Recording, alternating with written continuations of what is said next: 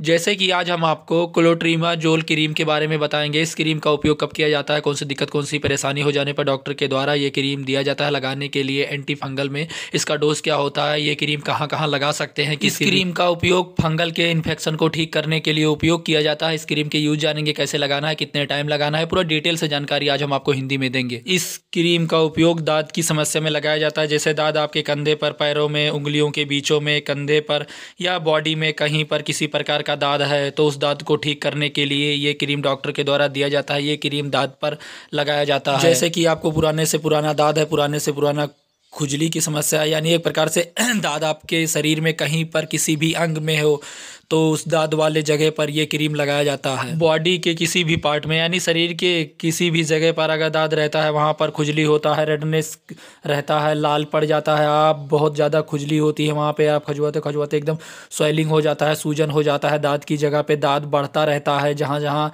जैसे खुजली होती है तो धीरे धीरे दाद बढ़ता है तो उस दाद को ठीक करने के लिए ये क्रीम डॉक्टर के द्वारा दिया जाता है लगाने के लिए, जिससे दाँत जल्दी आराम होता है। महिलाओं में बेजाइनल ईस्ट के इन्फेक्शन में ये क्रीम दिया जाता है लगाने के लिए। इस क्रीम से काफ़ी अच्छा रिज़ल्ट मिलता है, जिसके कारण बेजाइना में डिस्चार्ज हो सकता है। बर्निंग हो सकता है ईचिंग की समस्या हो सकता है, रेडनेस हो सकता है तो ये सब समस्या होता है। और महिलाएँ पेशाब करते समय वहाँ पर उनके प्राइवेट पार्ट में जलन की संभावना होती है। इस कंडीशन में अगर क्लोट्रीमा जोल का क्रीम लगाया जाए तो उसमें अच्छा फ़ायदा करता है। गर्दन से लेके आपके बॉडी पर सफ़ेद सफ़ेद से गोले के जैसे दांत, खाद, खजुली हो जाता है और वो बहुत ज़्यादा खजुआता है। एक प्रकार से कहते, कह सकते हैं, हम खजुआते खजुआते लाली पड़ जाता है स्वेलिंग आ जाती है तो उसे ठीक करने के लिए ये क्रीम डॉक्टर के द्वारा दिया जाता है और ये क्रीम लगाया जाता है। छोटे बच्चों को जो डायपर पहनाया जाता है तो वहाँ पर लालीपन आ जाता है रेडनेस हो जाता है छोटे छोटे दाने पड़ जाते हैं तो उसे भी ठीक करने के लिए क्रोटीमाजोल क्रीम का उपयोग किया जाता है। और इस क्रीम का उपयोग बॉडी में कहीं पर किसी प्रकार का भी दाद हो, हाथ पैरों में, उंगलियों में, पंजों पे, कंधे पे,